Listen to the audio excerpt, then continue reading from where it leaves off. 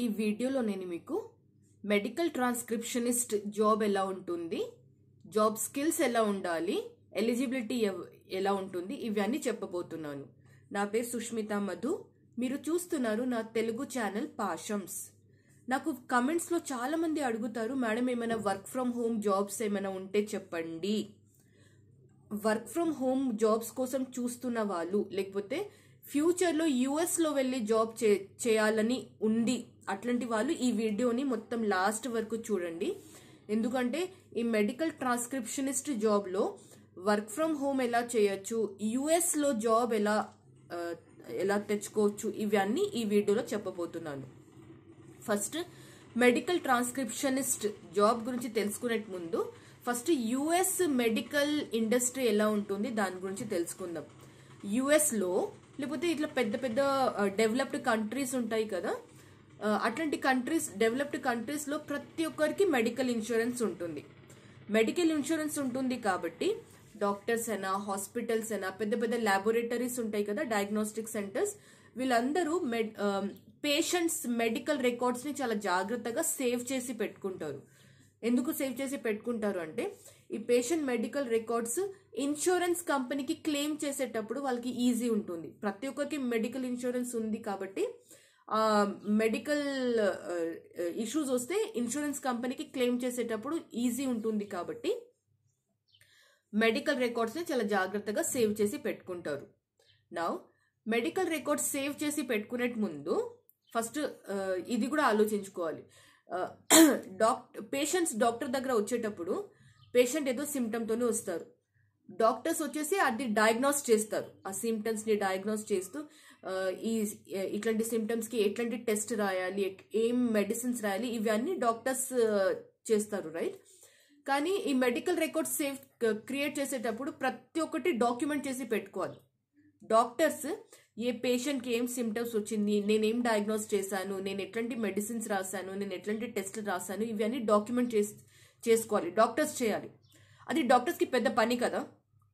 వాళ్ళ వాళ్ళ పేషెంట్తోని time spend చేయాలా ఆ పేషెంట్స్ సిమ్టమ్స్ని ఆలోచించాలా లేకపోతే ఈ డాక్యుమెంట్ చేస్తూ కూర్చోవాలా? అది పే- డాక్టర్స్కి చాలా పెద్ద పని. అందుకే వాళ్ళు ఏం చేస్తారు అంటే డాక్టర్స్ అయినా మెడికల్స్ హాస్పిటల్స్ అయినా ఏం చేస్తారు అంటే ఈ వర్క్ని ఒక థర్డ్ పర్సన్కి ఇచ్చుకున్నారు. ఇచ్చేస్తారు థర్డ్ పర్సన్. థర్డ్ పర్సన్ ఏం చేస్తారు అంటే ఈ డాక్టర్స్ మాట్లాడేట్టు కంటెంట్ అన్ని అంటే ఆడియో ఫైల్స్గా డాక్టర్స్ అయినా హాస్పిటల్స్ అయినా డాక్టర్లు ఏం ఏం మాట్లాడారు ఇవన్నీ ఆడియో ఫైల్గా సేవ్ చేసుకుంటారు. ఆ థర్డ్ పర్సన్కి పంపిస్తారు ఆడియో ఫైల్స్గా ఆడియో ఫైల్స్గా పంపిస్తారు. ఆ థర్డ్ పర్సన్ ఏం చేస్తారు అంటే ఆ ఆడియో ఫైల్స్ని వింటూ సేమ్ అదే టెక్స్ట్ ఫైల్ టెక్స్ట్ ఫార్మాట్గా టైప్ చేసేస్తారు. మెడికల్ ట్రాన్స్క్రిప్షన్ అంటే అదే. ఆ థర్డ్ పర్సన్ చెప్పాను కదా దట్ థర్డ్ పర్సన్ ఆ థర్డ్ పర్సన్ని మెడికల్ ట్రాన్స్క్రిప్షనిస్ట్ అంటారు. మెడికల్ ట్రాన్స్క్రిప్షనిస్ట్ ఏం చేస్తారు అంటే డాక్టర్స్ అయినా హాస్పిటల్స్ అయినా పంపించిన ఆడియో ఫైల్స్ని వింటూ ఆ ఆడియో ఫైల్స్లో ఉన్న కంటెంట్ని టెక్స్ట్ ఫార్ అంటే టైప్ చేస్తూ మాన్యువల్గా టైప్ చేస్తూ వర్డ్ అంటే మాన్యువల్గా టైప్ చేస్తూ ఒక టెక్స్ట్ ఫార్మాట్గా అది డాక్టర్స్ అయిన హాస్పిటల్స్ కింద రిప్లై చేస్తారు. మెడికల్ ట్రాన్స్క్రిప్షనిస్ట్ అంటే అది. దీనిలో ఇంకొకటి ఉంది. కొన్ని హాస్పిటల్స్ ఇంకా కొన్ని కం కొన్ని డాక్టర్స్ ఏం చేస్తారు అంటే థర్డ్ పర్సన్ని అక్కడే కూర్చోబెడతారు. అంటే సేమ్ అదే కేబిన్లో అదే రూమ్లో. పేషెంట్ కూడా వస్తారు డాక్టర్ కూడా అక్కడే కూర్చుంటారు. వాళ్ళు మాట్లాడిన మాట్లాడిన కాన్వర్జేషన్ అన్ని ఆ థర్డ్ పర్సన్ ఇమీడియట్గా ఫటాఫట్ ఫటాఫట్ అని అక్కడ టైప్ చేసేస్తారు. అక్కడ కూర్చుని ఆ థర్డ్ పర్సన్ లైవ్గా ట్రాన్స్క్రిప్షన్ చేస్తారు కదా లైవ్గా చేస్తున్న పర్సన్ని మెడికల్ స్క్రైబర్ అంటారు. మెడికల్ స్క్రైబర్ కొన్ని కొన్ని డాక్టర్స్ కొన్ని హాస్పిటల్స్ ఏం చూసారు అంటే పేషెంట్స్ అందరూ ఆ థర్డ్ పర్సన్ ముందు అంత కంఫర్టబుల్ ఫీల్ చేయరు.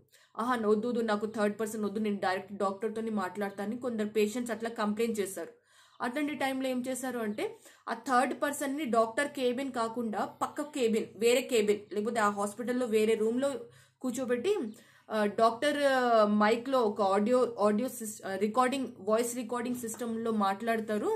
మీరు ఆ రూమ్లో వేరే రూమ్లో కూర్చొని రాయండి అని చెప్తారు. టెక్స్ట్ ఫార్మాట్గా కన్వర్ట్ చేయండి అని చెప్తారు. అట్లాంటి పర్సన్ని వర్చువల్ స్క్రైబర్ అంటారు. వర్చువల్ స్క్రైబర్ లేకపోతే ఆన్లైన్ స్క్రైబర్ కూడా అంటారు. మెడికల్ ట్రాన్స్క్రిప్షనిస్ట్ ఇంకా ఆన్లైన్ స్క్రైబర్ మెడికల్ స్క్రైబర్లో డిఫరెన్స్ ఏంటంటే మెడికల్ ట్రాన్స్క్రిప్షనిస్ట్ ఆల్రెడీ రికార్డ్ అయిన ఫైల్ అంటే పాత ఫైల్ అంటే వన్ డే టూ డేస్ కొంచెం పాత అయిన కొంచెం ఓల్డ్ ఆడియో ఫైల్ని వింటూ వాళ్ళు ట్రాన్స్క్రిప్షన్ చేస్తారు. వర్చువల్ స్క్రైబర్ మెడికల్ స్క్రైబర్ ఏం చేస్తారు ఆన్లైన్ స్క్రైబర్ ఏం చేస్తారు అంటే లైవ్గా ఇప్పుడు ఆల్రెడీ ఆ కాన్వర్జేషన్ జరుగుతుంది. దానిని వాళ్ళు స్క్రైబ్ చేస్తారు. స్క్రైబ్ అంటే ట్రాన్స్ ట్రాన్స్లేట్ చేయడం.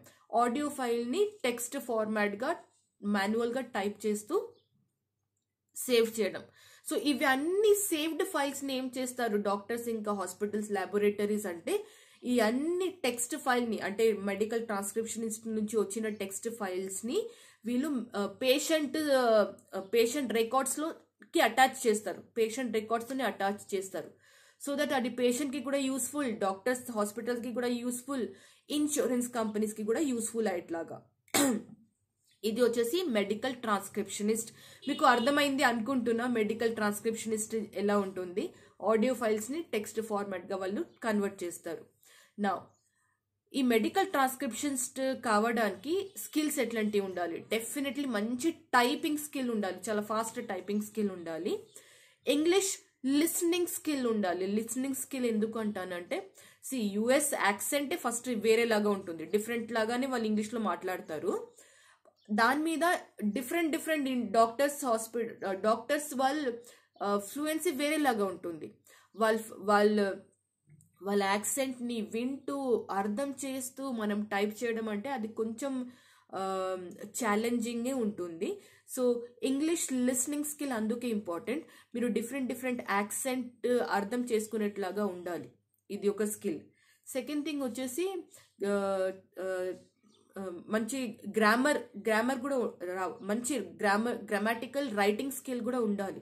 ఒక్కొక్కసారి ఏమవుతుంది అంటే కొందరు డాక్టర్స్ మాట్లాడేటప్పుడు అది గ్రామాటికల్ మిస్టేక్ వచ్చేస్తుంది. అక్కడ ఇక్కడ గ్రామాటికల్ మిస్టేక్ అవుతుంది. సపోజ్ మీరు ట్రాన్స్ ట్రాన్స్క్రిప్షన్ చేస్తున్నారు అనుకోండి మీరు కూడా సేమ్ అదే గ్రామాటికల్ మిస్టేక్ రాస్తే అది బాగుండదు. ఒక మనం ఆ రికార్డ్ని ఎప్పుడు పంపిస్తాం పంపిస్తాము డాక్టర్స్కైనా హాస్పిటల్స్కైనా అది ఒక మంచి ఇంప్రెషన్ ఇవ్వదు. సో అందుకే ఇంగ్లీష్ గ్రామాటికల్ రైటింగ్ స్కిల్స్ కూడా ఉంటే బెటర్ ఉంటుంది. ఇవి వచ్చేసి Um, uh, స్కిల్స్ uh, ఏమేమి కావాలి? నా ఎలిజిబిలిటీ ఎలిజిబిలిటీలో నేను డెఫినెట్లీ చెప్తాను ఒక గ్రాడ్యుయేట్ ఉంటే బెటర్ గ్రాడ్యుయేషన్ ఉంటే మీరు ఈ ట్రా మెడికల్ ట్రాన్స్క్రిప్షన్ జాబ్కి చాలా ఈజీగా మంచిగా అప్లై చేయగలుగుతారు. నా ఇండియాలో కూడా మెడికల్ ట్రాన్స్క్రిప్షనిస్ట్ కంపెనీస్ చాలా ఉన్నాయి. వాళ్ళు purely medical transcription medical transcription ప్రాజెక్ట్సే చేస్తారు? ప్రాజెక్ట్స్ వచ్చేసి మ్యాక్సిమం యుఎస్ ప్రాజెక్ట్సే ఉంటాయి. నౌ uh, మీరు మెడికల్ ట్రాన్స్క్రిప్షన్ కావడానికి డెఫినెట్లీ కొన్ని కొన్ని కొన్ని ప్లేసెస్లో మెడికల్ ట్రాన్స్క్రిప్షన్కి మంచి ట్రైనింగ్స్ కూడా ఉంటుంది. Private organisation private training institutes కూడా ఉంటాయి. మీరు గూగుల్లో వెళ్ళి మెడికల్ ట్రాన్స్క్రిప్షన్ ట్రైనింగ్ అని టైప్ చేస్తే మీకు డెఫినెట్లీ కొన్ని ట్రైనింగ్ ఇన్స్టిట్యూట్స్ కనిపిస్తాయి. లేకపోతే ఈ మెడికల్ ట్రాన్స్క్రిప్షన్ కంపెనీస్ చెప్పాను కదా ఆ మెడికల్ ట్రాన్స్క్రిప్షన్ కంపెనీసే మంచిగా ట్రైనింగ్ ఇచ్చుకుంటూ వాళ్ళే క్యాండిడేట్స్ని హైర్ చేసుకుంటారు. మీరు medical transcription companies in Hyderabad లేకపోతే medical transcription company in Vijayawada Vizag Visakhapatnam ఇట్లాంటి టైప్ మీ సిటీ పేరు టైప్ చేస్తూ చూస్తే మీకు డెఫినెట్లీ కొన్ని కంపెనీస్ కనిపిస్తాయి. కాంటాక్టర్స్లో వెళ్ళండి. వాళ్ళ ఫోన్ నెంబర్ తీసుకోండి. వాళ్ళ వెబ్సైట్లో వెళ్ళి వాళ్ళ ఫోన్ నెంబర్ తీసుకోండి. వాళ్ళతో మాట్లాడండి. మీకు డెఫినెట్లీ వాళ్ళు ఏమి ఏదో ఒకటి చెప్తారు. అవును మేము హైర్ చేస్తున్నాం. మేము ట్రైనింగ్ ఇచ్చుకుంటున్నాం అని వాళ్ళు ఏదో ఒకటి చెప్తారు. ఇంకొకటి ట్రైనింగ్ ఇచ్చుకున్నాక వాళ్ళు మంచిగా అంటే మంచిగా ట్రైనింగ్ ఇస్తారు. దాని తర్వాత టెస్ట్ కూడా ఉంటుంది. అంటే అసెస్మెంట్ అంటారు.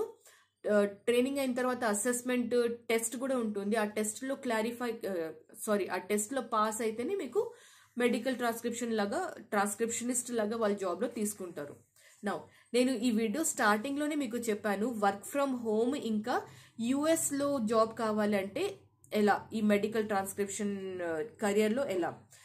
మెడికల్ ట్రాన్స్క్రిప్షన్లో మీరు జాయిన్ అయ్యారు అనుకోండి ఒక వన్ ఇయర్ టూ ఇయర్ తర్వాత మీకు టర్మినాలజీస్ కొన్ని దాని దానిలో కూడా కొన్ని కోడ్స్ ఉంటాయి. అంటే మీ మీ టైపింగ్ స్కిల్ మీకు కొంచెం అలవాటు అయిపోతుంది. ఆ వర్క్ అలవాటు అయిపోతుంది కాబట్టి ఒక వన్ ఇయర్ టూ ఇయర్ తర్వాత మీరు వర్క్ ఫ్రమ్ హోమ్ ఆప్షన్ కూడా తీసుకోగలుగుతారు. సేమ్ అదే కంపెనీలో మీరు ఏ కంపెనీలో జాయిన్ అయ్యారో మెడికల్ ట్రాన్స్క్రిప్షన్ కంపెనీలో సేమ్ ఆ ఆ కంపెనీలోనే మీ టీమ్ లీడ్ మీ మేనేజర్తో మాట్లాడాక మీరు వర్క్ ఫ్రమ్ హోమ్ ఆప్షన్ కూడా తీసుకోగలుగుతారు. దానిలో ఒక సెట్ టైం ఉంటుంది. Ten o'clock to five o'clock ten o'clock to six o'clock ఇట్లా సెట్ టైం ఉంటుంది. ఆ టైంలోనే మీ ల్యాప్టాప్ మీ కంప్యూటర్లో కూర్చొని మీరు వింటూ మీరు మీరు ట్రాన్స్క్రైబ్ చేస్తూ చేయొచ్చు. మెడికల్ ట్రాన్స్క్రిప్షన్ జాబ్లో ఎలా ఉంటుందంటే టార్గెట్స్ ఉంటాయి. పర్ డే మీరు ఇన్ని ఇన్ని ఆడియో ఫైల్స్ని వినాలి టెక్స్ట్ ఫైల్లో కన్వర్ట్ చేయాలి. వాళ్ళు టార్గెట్స్ డెఫినెట్లీ ఇస్తారు వర్క్ ఫ్రమ్ హోమ్ చేస్తే. సో మెడికల్ ట్రాన్స్క్రిప్షన్లో డెఫినెట్లీ మీకు వర్క్ ఫ్రమ్ హోమ్ ఆప్షన్ ఉంటుంది. ఇంకా శాలరీస్ కూడా చాలా బాగుంటుంది. Medical transcription very nice salary చాలా మంచి శాలరీస్తోని మీకు జాబ్ వచ్చే ఛాన్సెస్ ఉంది. ఇంకొకటి సెకండ్ థింగ్ వచ్చేసి వర్క్ ఫ్రమ్ హోమ్ అంటే మీకు ఆల్రెడీ చెప్పాను. Medical ట్రాన్స్క్రిప్షన్లో definitely work from home option ఉంటుంది. కానీ ఒక వన్ ఇయర్ అట్లీస్ట్ ఒక వన్ ఇయర్ ఎక్స్పీరియన్స్ తర్వాత మీరు work from home option choose చేసుకుంటే బాగుంటుంది అంటాను నెక్స్ట్ వన్ వచ్చేసి యుఎస్లో జాబ్ కావడానికి మెడికల్ ట్రాన్స్క్రిప్షన్ జాబ్ ఈ ప్రొఫెషన్ ఈ కరియర్ ఎలా యూజ్ అవుతుంది అంటే మీరు ఇండియాలో ఒక three four years medical transcriptionist లాగా రియల్ టైం జాబ్ చేస్తే దాని తర్వాత మీరు యూఎస్కి అప్లై చేస్తే యూఎస్లో ఏదైనా కంపెనీలో జా జాబ్లో అప్లై చేస్తే మీకు వాళ్ళు మీకు చాలా మంచి ఆపర్చునిటీస్ ఉంటాయి. ఎందుకంటే యుఎస్ నుంచి ప్రాజెక్ట్స్ ఇండియాకి వస్తుంది. డెవలప్ అంటే యుఎస్ నుంచి ప్రాజెక్ట్స్ ఇండియాకి వస్తుంది అంటే యుఎస్లో చాలా డిమాండ్ ఉంది. మెడికల్ ట్రాన్స్క్రిప్షనిస్ట్కి చాలా డిమాండ్ ఉంది.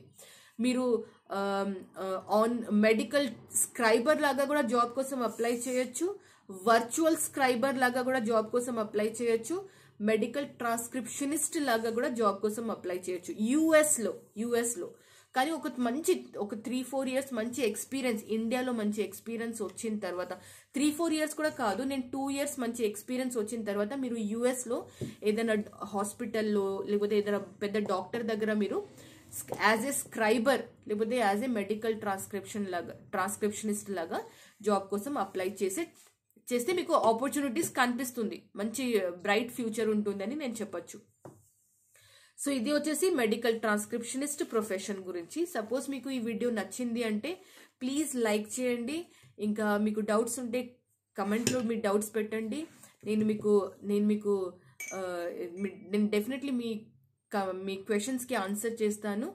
ఇంకా మీ ఫ్రెండ్ మీ ఫ్రెండ్స్తోని ఈ వీడియోని ఫేస్బుక్ ఇంకా వాట్సాప్లో కూడా షేర్ చేయండి. వాళ్ళకి కూడా తెలుస్తుంది కదా మెడికల్ ట్రాన్స్క్రిప్షనిస్ట్ ప్రొఫెషన్ ఎలా ఉంటుంది అని.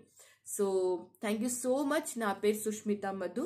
మీరు చూస్తున్నారు నా Telugu channel Pashams thank you so much నమస్తే.